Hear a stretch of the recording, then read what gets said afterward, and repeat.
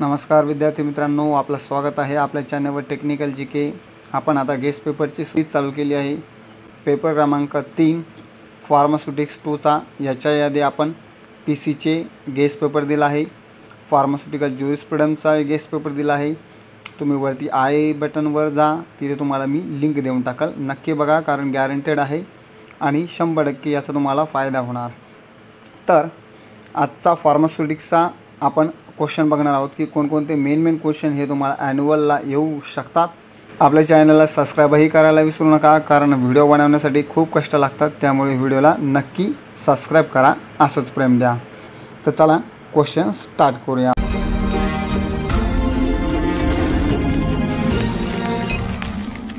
पहिलं पहिल्या धड्यापासून चालू करूया. तर पहिला क्वेश्चन असा आहे what is mean by prescription prescription म्हणजे काय? तर तुम्हाला जर प्रिस्क्रिप्शनवर जर एखादा क्वेश्चन आला तर असेल डिफाईन अ प्रिस्क्रिप्शन तर prescription is a written order of a medical practitioner जे मेडिकल प्रॅक्टिशनर असतं त्याची जी रायटिंग ऑर्डर असते त्याला आपण प्रिस्क्रिप्शन असे म्हणतो. त्याच्यानंतर तुम्हाला असाही प्रश्न विचारू शकतात. The main part of prescription is प्रिस्क्रिप्शनचा सर्वात मेन पार्ट कोणता आहे? तर इस्क्रिप इन्स्क्रिप्शन हा प्रिस्क्रिप्शनचा सर्वात महत्त्वाचा पार्ट आहे.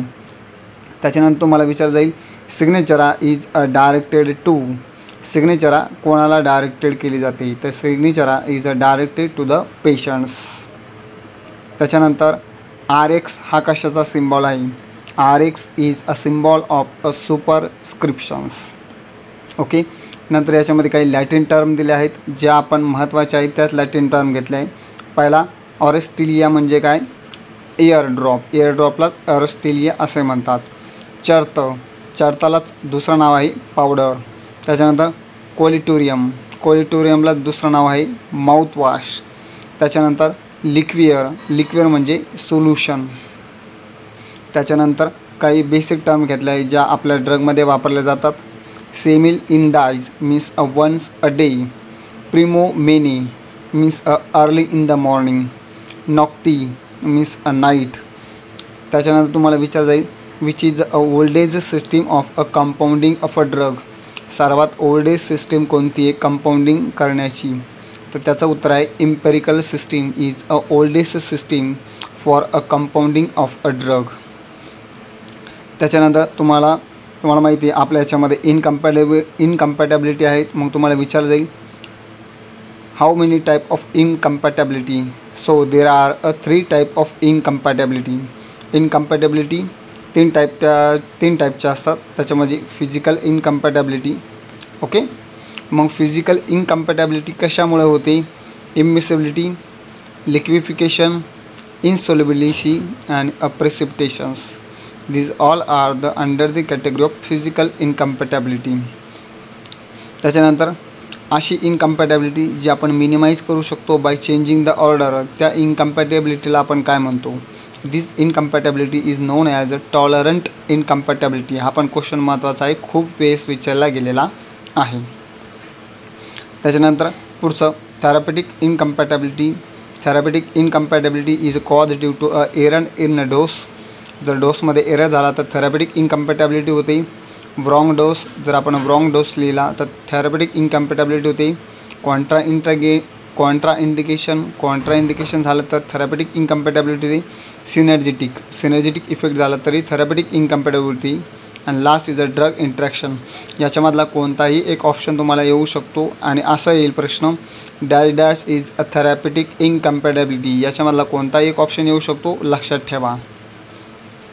त्याच्यानंतर तिसरा चॅप्टर जो आहे पोसोलॉजी मग तुम्हाला विचारला जाईल posology is a deals with मग it is a deals with a quantity of a dose or a quantity of a drug okay नंतर याच्यामध्ये तुम्हाला असा विचार जाईल empty stomach is a better for a dash dash empty stomach is having a better absorption of a drug जेव्हा आपली body M T stomach असतं त्याच्यामध्ये सर्वात जास्त ॲब्झॉर्प्शन होत असतं. त्याच्यानंतर असा प्रश्न विचार जाईल pregnant women is a avoided pregnant वुमनला कोणकोणते ड्रग अवॉइडेड केले जातात? तर त्याचं उत्तर आहे मॉर्फिन टेट्रासायक्लिन आणि बार्बिच्युरेट्स हे तीन जे ड्रग आहे हे प्रेग्नेंट वुमेनला अवॉइडेड केले जातात.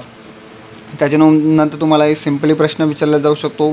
Two or more drug combine and it increase the action is called as the डायडॅश effect so it is a called as the synergic effect याला सिनर्जिझम असं म्हणतात किंवा सिनर्जिक इफेक्ट असे म्हणतात. त्याच्यानंतर drug which oppose the each other असे drug जे एकमेकांना अपोज करतात त्यांना काय म्हणतात? It is a called as the antagonism drug त्याच्यानंतर पुढचा तुम्हाला प्रश्न विचारला जाऊ शकतो. Extraordinary response of a drug एखाद्या ड्रगचा जर एक्स्ट्रा ऑर्डनरी रिस्पॉन्स झाला तर त्याला तुम्ही काय म्हणतात?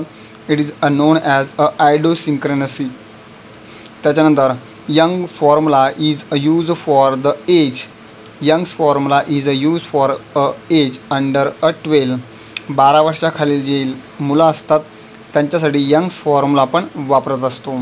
त्याच्यानंतर हा प्रश्न खूप वेळेस आलेला आहे. Best way to calculate a dose of a drug. Calculate dose करण्याचा सर्वात बेस्ट वे कोणता आहे? The body weight is a most important aspect to calculate a dose of a drug. त्याच्यानंतर चौथ्या दाड्यामध्ये आपण याच्यामधले काही काही मेन मेन पॉईंट घेतले आहे जे तुम्हाला येऊ शकतात. Which method not suitable for a large quantity of a powder अशी कोणती मेथड आहे पावडर मिक्सिंगची जी लार्ज याच्यामध्ये वापरली जात नाही? तर त्याचं उत्तर आहे स्पॅच्युलेशन स्पॅच्युलेशन ही स्मॉल डोस क्वांटिटीमध्ये वापरली जाते किंवा मिक्सिंग क्वांटिटीमध्ये वापरली जाते. त्याच्यानंतर हायड्रोस्कोपिक पावडर और a deliquescent powder is a pack in a dash dash paper तर हायड्रोस्कोपिक सबस्टम मीन्स ॲब्झॉर्ब करणारी वॉटर ॲब्झॉर्ब करणारे ड्रग मग ते कशामध्ये पॅक करतो आपण? It is a pack in a wax paper हे लक्षात ठेवा.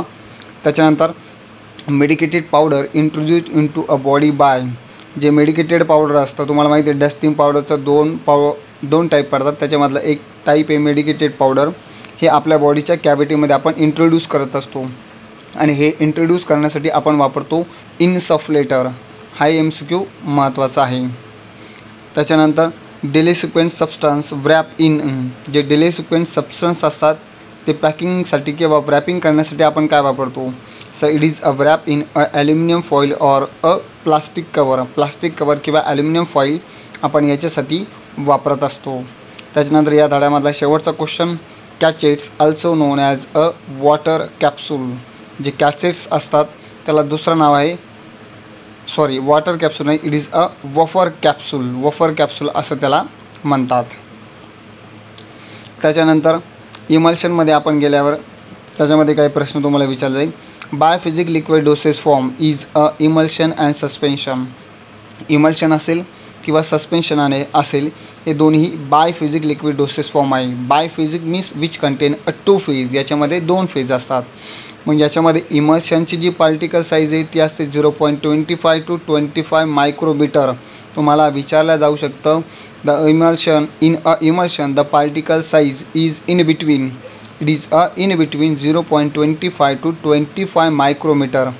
त्याच्यानंतर सस्पेन्शन जरमध्ये जर तुम्हाला पार्टिकल साईज विचारली तर तुम्ही सांगू शकता it is a zero point five to five micrometer हे महत्त्वाचे एम सी क्यू आहे.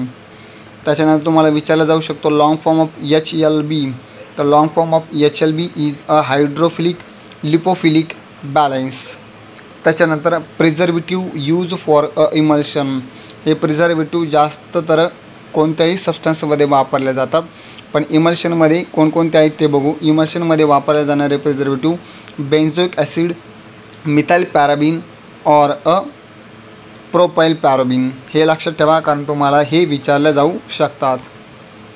नंतर cracking in a emulsion emulsion तुम्ही जर बघितलं इमल्शनमध्ये क्रॅकिंग असेल क्रिमिंग असेल किंवा फेज इन्व्हर्जन असेल हे तीन इफेक्ट दिसून येतात. मग याच्यामध्ये क्रॅकिंग कशामुळे होते? तर क्रॅकिंग होणारे काही सबस्टन्स आहे ते बघा. Opposite type of emulsifying agent decomposition of emulsifying agent common solvent microorganism and change the temperature एवढ्या गोष्टी झाल्याच्या नंतरच आपलं जे इमल्शन आहे ते क्रॅक होत असतं. याच्यामधून कोणताही एक ऑप्शन तुम्हाला त्या चार ऑप्शनमध्ये दिसेल तर लगेच तुम्ही लक्षात ठेवायचे की यस याच्यामुळे क्रॅकिंग होते. म्हणून हे आपण सर्व पॉईंट याच्यामध्ये कवर केला आहे. कारण हा क्वेश्चन खूप वेळेस विचारला गेला आहे. त्याच्यानंतर क्रीमिंग कशामुळे होते? तर creaming is a happen by the radius of globules density viscosity and storage condition या सर्व गोष्टीमध्ये जर चेंजेस झाला तर आपल्या इमल्शनमध्ये क्रीमिंग येते क्रॅकिंग येत नाही. त्याच्यानंतर काही महत्त्वाची गोष्टी आहेत ज्या याच्यामध्ये आपण घेतल्या आहे wool fat also known as wool फॅटला दुसरं नाव काय? तर wool fat also known as a anhydrous lanolin त्याच्यानंतर water soluble base also called as जे वॉटर सोल्युबल बेस असतात त्यांना आपण कार्बोवॅक्स असे म्हणतो. त्याच्यानंतर तुम्हाला विचार जाईल which is a following is a hydrocarbon base खालीलपैकी कोणते हायड्रोकार्बन बेस आहेत? तर त्याचं आन्सर आहे soft paraffin and a liquid paraffin त्याच्यानंतर पुढचं poultice is a dash dash preparation poultice is a solid preparation and it is also known as a cataplasm याच्यामध्ये दोन टाईपचे प्रश्न विचारू शकतात. पहिला असा विचारू शकतो poultice is a dash dash preparation it is a solid preparation किंवा another name of poultice is a cataplasm असे दोन प्रकारचे क्वेश्चन याच्यामध्ये विचारू शकतात त्याच्यानंतर तुम्हाला विचारला जाऊ शकतो सपोजिटरीजवर rectal suppository having the weight rectal सपोजिटचं जे वेट असतं ते असतं one two gram okay and it as a cone or tornado shape he cone shape असू शकते किंवा टोर्नॅडो शेप असू शकते. त्याच्यानंतर नासल सपोटरी आपण जर बघितली तर नासल सपोजिटरी जी आहे ती वन ग्रॅम असते आणि तिचा शेप असतो सिलेंड्रिकल शेप लक्षात ठेवा. त्याच्यानंतर preparation method of suppository suppository preparation करण्याच्या कोणकोणत्या मेथड्स आहेत? तर rolling method hot processing method and cold compression method या तीन मेथड आपण सपोजिटरी प्रिपेअर करण्यासाठी वापरत असतो. आणि याच्यामध्ये खूप वेळेस हा प्रश्न विचारला गेला आहे. Oldest method of a suppositories suppository preparation करण्याची सर्वात जुनी पद्धत कोणती आहे? तर it is a hand moulding okay hand moulding ही सर्वात जुनी पद्धत आहे. त्याच्यानंतर suppository is a pack in a aluminium foil और पी व्ही सी सपोजिटरी आपण पॅक करण्यासाठी आपण ॲल्युमिनियम फॉईल वापरतो किंवा P V C means a poly vinyl chloride okay? तर हे पॅक करण्यासाठी आपण वापरत असतो. त्याच्यानंतर हा क्वेश्चनही खूप वेळेस विचारला गेला आहे. ॲब्रॅझिव्ह अल्सो नोन ॲज ॲब्रॅझिव्हला दुसरं नाव काय? आहे it is also known as a polishing agent polishing agent असे म्हणतात आणि हे आपण टीचसाठी यूज करत असतो. नंतर detergent is a dash dash detergent is a surface acting agent किंवा detergent having a falling property detergent it reduce the surface tension. दोन प्रकारचे एम सी क्यू विचारल्या जाऊ शकतात. पहिला विचारला जाऊ शकतं detergent is a dash acting substance. Detergent is a surface acting agent. And detergent having a falling property it can lower the surface tension. त्याच्यानंतर फेस पावडरचे तीन टाईप आहे. Light powder medium type powder and a heavy powder. जे light powder असतं ते आपण dry स्किनसाठी वापरतो. मिडियम टाईपचं जे पावडर असतं ते आपण मॉडरेट ऑइल स्किनसाठी वापरत असतो. आणि heavy type of skin heavy type of जे पावडर आहे ते आपण ऑइली स्किनसाठी वापरत असतो. याच्यामधून कोणताही एक प्रश्न विचारला जाऊ शकतो. Medium type of powder is a use for dash dash skin so it is a use for a moderately oil skin नंतर heavy type of powder is a use for a dash dash skin heavy type of powder is use for a oily skin अशा प्रकारचे question याच्यामध्ये येऊ शकतात. त्याच्यानंतर cleaning cream use for जी cleansing cream असते cleaning नाही सॉरी क्लिन्झिंग जी क्रीम असते जी आपण मेकअप रिमूव्ह करण्यासाठी वापरत असतो. आणि याच्यामध्ये आपण एक सबस्टन्स वापरत असतो त्याचं नाव आहे pepsin it is a use as a provide a smoothness याच्यावर प्रश्न असा येईल in a cleansing cream dash dash is a added and it provide a smoothing action तर त्याचं उत्तर आहे पेप्सिन त्याच्यानंतर पुढचा eyebrow pencil is a made up of dash dash. Eyebrow pencil is a made up of black iron oxide. Black iron ऑक्साईडचं eyebrow pencil बनलेले असते. नंतर colouring agent added in a lipstick. लिपस्टिकमध्ये colouring agent कोणता वापरला जातो? तर त्याचा उत्तर आहे टिटॅनियम डायऑक्साईड. त्याच्यानंतर conditioner use in a shampoo.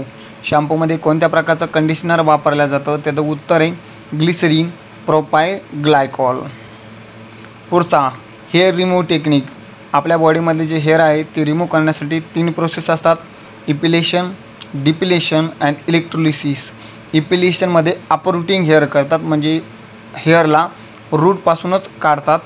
डिपिलेशनमध्ये hair remove करतात बाय द केमिकल प्रोसेस आणि इलेक्ट्रोलिसिसमध्ये हेअर रिमूव्ह करतात बाय द इलेक्ट्रिक करंट याच्यामधून कोणताही तुम्हाला एक येऊ शकतं. Depilation is a remove hair by dash dash so it is a remove hair by the chemical technique electrolysis is a remove the hair of dash dash electrolysis is a remove the hair with the help of electric current अशा प्रकारचे question याच्यामध्ये विचारू शकतात. त्याच्यानंतर chelating agent कोणकोणते chelating agent आहे? E D T A E D T A of sodium potassium salt हे काय? चिलेटिंग एजंट आहे. त्याच्यानंतर what is a function of adjuvant ॲड्ज्युएंटचं function काय? It increase the stability stability increase करण्यासाठी आपण ॲड्ज्युएंट use करत असतो. त्याच्यानंतर ग्लासवर प्रश्न विचारला जाऊ शकतो. Type one glass is a dash dash called type one glass is known as the borosilicate or a neutral glass type two and type थ्रीला आपण सोडालाईम सिलिकेट ग्लास असे म्हणतो. पॅरेंटर प्रिपरेशन तयार करण्यासाठी आपण प्लास ग्लास किंवा प्लास्टिकचा उपयोग करत असतो. त्याच्यानंतर काही महत्त्वाचे मुद्दे. H E P A means high efficiency particular air filter T P N also called as total parenteral nutrition नंतर evaluation test for a parenteral it is a sterility clarity pyrogen or a leakage